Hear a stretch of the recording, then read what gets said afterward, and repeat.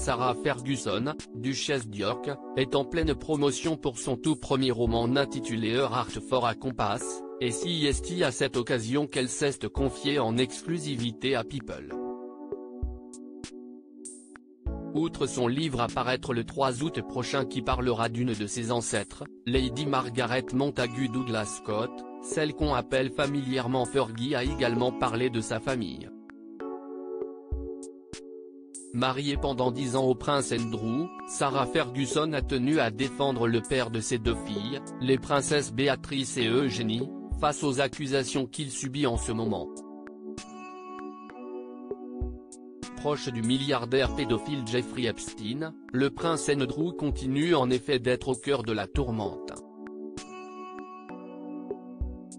Peu importe les challenges auxquels il doit faire face, je défends fermement les coparents que nous sommes ensemble. J'ai l'intime conviction que si est un homme gentil et bon, et il a toujours été un père fantastique pour les filles.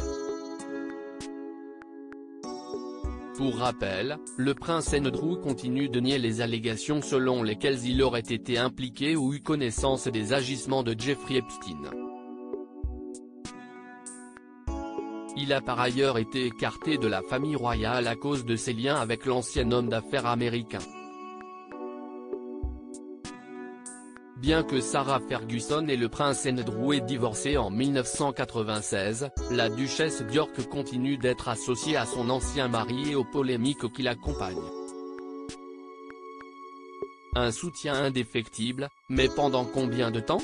Malgré des rapports qui restent cordiaux avec la famille royale, Sarah Ferguson n'a pourtant pas été conviée aux funérailles du prince Philippe qui se sont déroulées en avril dernier.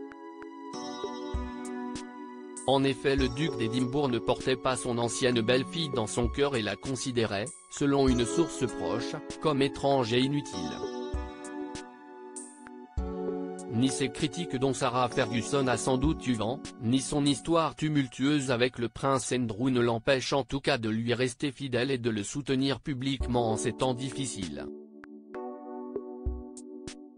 Une décision qui semble avoir changé au fil du temps puisqu'il n'y a pas si longtemps, Sarah Ferguson avait exprimé le souhait de ne plus s'afficher officiellement au bras du prince Andrew.